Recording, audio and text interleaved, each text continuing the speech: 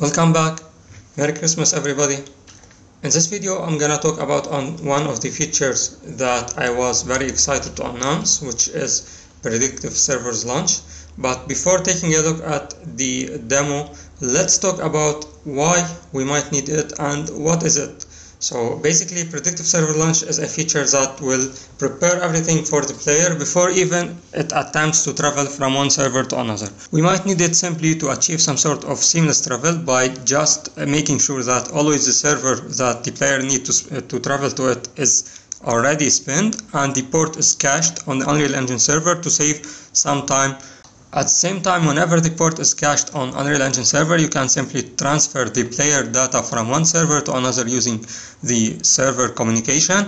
This way, you will not uh, need to make an, uh, some sort of call to the database to retrieve the persistent data of the player. So enough speaking and let's take a look at the feature.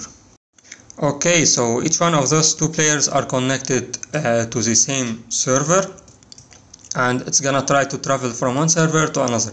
So um, first of all I'm going to try to travel by this guy to map number two. So whenever I approach the uh, the gate I can see that there is a port cached here and you can see here reservation for the player name done on the port and this is the map. Whenever we try to travel we are gonna make something called predictive travel because the port is already cached no need to make another call to the load balancer and we are gonna save some time.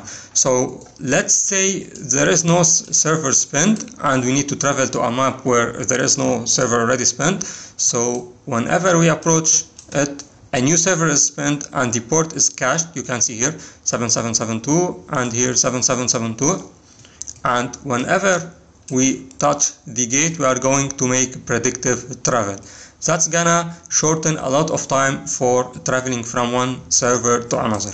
Few things should be mentioned that the player can have one reservation on one and only one server and the reservation can be with one portal. So let's say the player try to um, approach another portal the old reservation is gonna be cancelled and it's gonna reserve a new seat on a new server.